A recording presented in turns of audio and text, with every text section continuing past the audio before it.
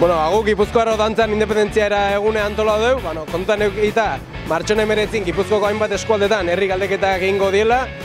erabakin aro jarri da martxan Euskal Herrin eta milaka eta milaka Euskal Herritarrok geuko dugu aukera Euskal Estatuz erabakitzeko eta uste gendun, ba, aukera proposa zala, ba, horren aitzikin, bat, e, parte hartzeko deia itxiko eta bi, ba, Estado propio aldeko apustue zabaltzeko eta horren aldeko arrazoiak emateko ba, asmoa genduken. Eta zentzu hortan guk Estado propio aldeko autu egiten dugu, esan bezala, alde batetik nahi edalako,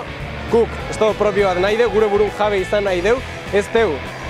rato gangsterra eta urdangarin lapurra impunitate soz libre utzi eta altxasuko gaztek kartzelaratzen ditun erreinu baten menpeko izan nahi ez teu ametituko rajoi eta gainontzeko lotxagabe kuadriak erabaki ezan gure buru eta gorputzen gain eta horregatik guk gure burun jabe izan nahi dugu eta estado propio bat eraikin nahi dugu.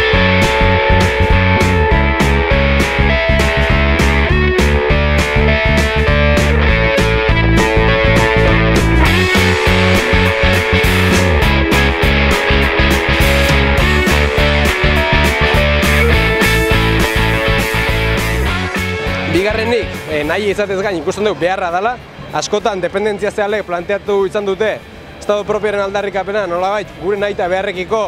ba, arrotza da, e, ba, kapritxo zoro bat dela, eta guk planteatzen duguna da, kontrara gure nahi eta beharra irantzuko den herri eredu bat eraikitzeko ezinbesteko bitartekoa dela. Eta datu bat ematearen, dependentziaren kosteak zeintzu dien e, bueno, argigarria dena. Oantxe jakinarazi da, Estado Espainolak bertako agintaren konplizitatez inposautako politiken ondorioz, Ego Euskal Herriko gazten langabezitasa Europako batazbestekon bikoitza dela. Beraz, horrek agerin uzten du zeintzu dien dependentziaren kosteak eta zeatik behar deun e, Estado propio tresna bezala ba, era batetan lan ikasi eta biziak izateko. Eta hirugarrenik azpimarratzen dugu aukera bat dela. Alegia, ikusten dugu alde batetik demokratizaziorako aukera bakarra dela, kontutan izanik Estado Espainol eta Frantzesa ez da duela demokratizatzeik, eta bigarrenik aukera erreala dela. Ez da hemendik hamarkadatara lortu ezakegun aldarrikapen utopiko bat, baizik eta hemen eta orain lortu ezakegun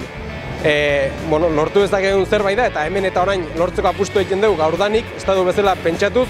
jardunez eta beti gora ba, bide horretan urratsak emanez. Beraz, hori kontutan izanik, e, gaurko ekimen honen bitartez eta